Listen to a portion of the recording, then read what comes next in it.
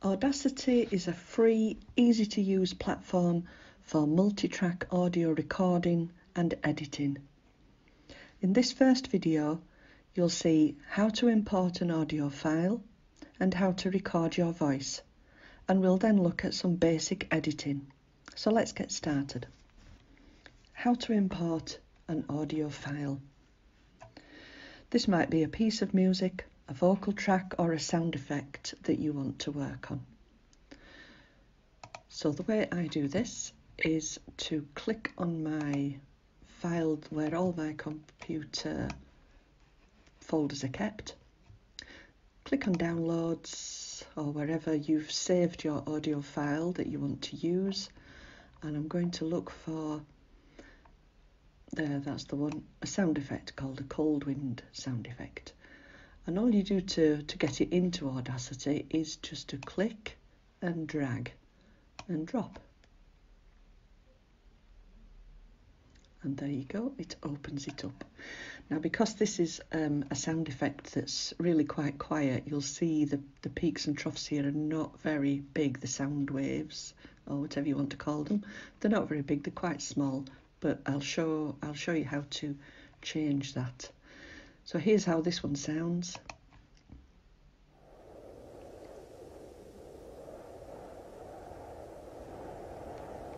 So it's just a nice wintry, frosty sounding sound effect.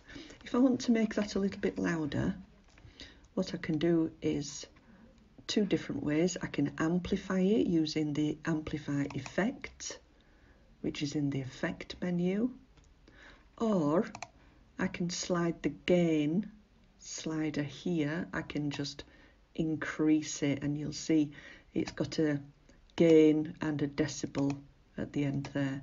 So I can increase or decrease if I want it quieter. So if I want this a bit louder, if I start playing it again, if I grab the gain slider and slide it up, you can see that gets louder quieter. If I want to use the amplify, you'll see that this has an effect on the actual waves.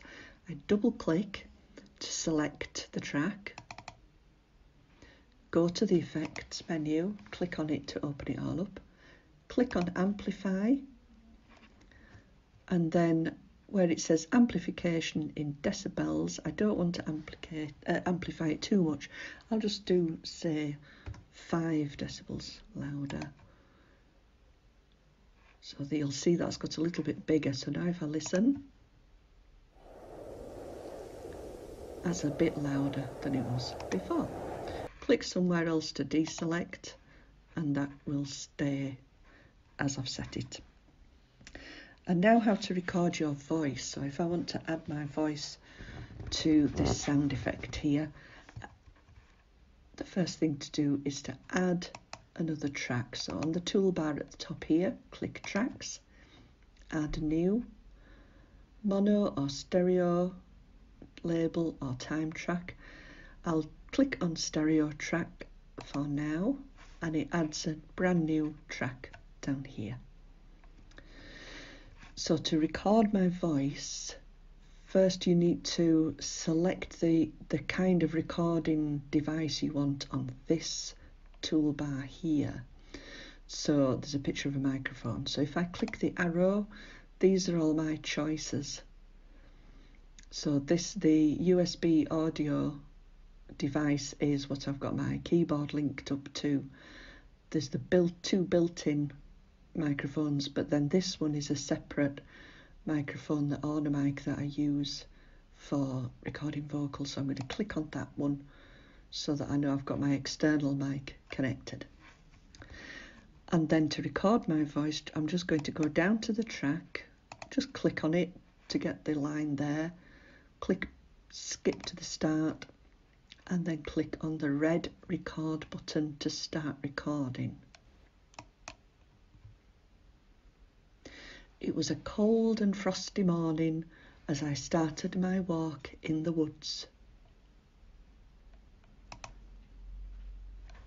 So this has now recorded my voice. If I go back to the beginning and play. It was a cold and frosty morning as I started my walk in the woods.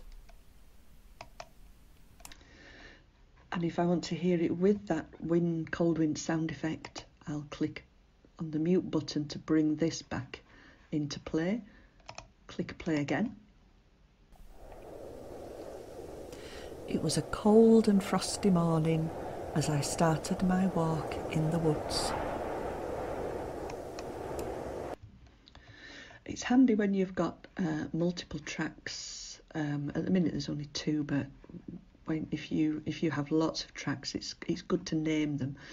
So on this first track, it's already got the name of the track there. If I click on name, it tells me that that's the cold wind sound effect, so that's okay. I'll keep that. On the second one, it just says audio track at the minute, so I'll change that to voice so that I can keep a note of what which track is which and what I'm what I want to work on. So now a little bit of uh, basic editing. On this voice track, you can hear that I'm taking a big breath in before I start to speak, which I don't really want to keep in. Again, if I click solo, you will just hear this track. So listen to this. It was a cold and frosty morning. So that's quite a big breath that I don't want in there. Now I could just highlight the breath and then click on generate silence or I can use noise reduction. It's, it's good to make it, it bigger so that you can see what you're doing. So up here there's a zoom in button. So click on the zoom in button and that makes things a bit easier to see. Now I can see that breath mark there. So I could just, as I said, just generate silence for that or I could use noise reduction, which is very handy because there's more than one breath here. There's a few, even though it's just very, very short, there's a few breaths and what have you that I don't really want in. So I'm going to use an effect called noise reduction to get rid of that. So to use noise reduction, I'm going to just highlight a little portion of the noise that I want to get rid of Go to the Effect menu again, go down to Noise Reduction and do step one, which is get the noise profile. So I click that, can't see anything happening, but what it's done is it's read that and it knows now that that's what I want to get rid of in this track. So I'm going to double click to highlight it, to select it, go back to the noise reduction effect and do step two. So I click OK and you can see there that's disappeared but also all the other little breaths and things have disappeared. What's that bit there? Let's just listen. As I started my walk in oh, the woods. Walk. That's fine. So you see if you've got um, lots and lots of breaths in a track that you want to get rid of, that's the quickest way is to use noise reduction. Or if it's just a short little piece, you can use the generate silence effect.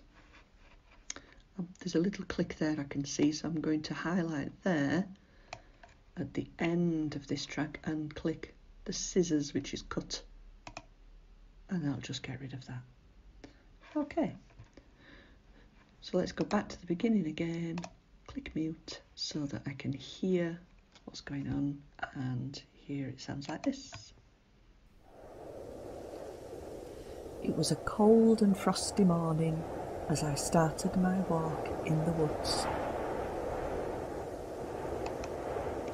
If I want to make this track, the, uh, the top track here, the sound effect, shorter, if this is all I want here, and then I want this to fade out. There's an easy way to do that as well. So I'll just make this smaller using the zoom in, zoom out buttons up here. Make it a little bit smaller so you can see the end of the track. You can see it's 54 seconds long. And I'm going to highlight from the end. So this is to get rid of some of this long track because I don't want all of it. To click highlight to about there, to about 16 seconds, cut, and now I've got a little bit of a, a sudden ending there, so I want that to just fade out gently. I don't want it to just stop with a bit of a bump. So I'm going to highlight the last few seconds, go up to Effect menu and go to Fade Out. Click on Fade Out and you'll see it just gives you a nice little neat and tidy fade out there. If you want to undo anything anytime, if you've made a mistake, like we said at the beginning, edit and it'll always come up with the the last thing that you did. So I think, mm, I, I want that in a different place. Undo that fade out. And if I want to alter that again, just highlight, maybe make it a bit shorter, and then redo the fade out. Like so. Now if I go back to the beginning using the skip back button and play, It was a cold and frosty morning as I started my walk in the woods.